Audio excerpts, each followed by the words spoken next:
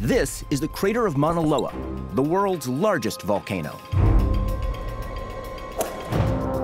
When measured from its base on the ocean floor, it's 1,000 feet taller than Everest. In the spring of 1984, Mauna Loa's eruption captivated Hawaii and put many in the nearby town of Hilo, just 38 miles from the summit, in the direct path of danger. Luckily, that time the town was spared.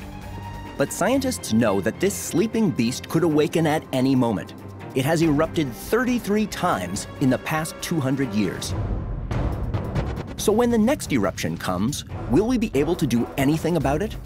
Or are we simply too small and powerless to hack a volcano?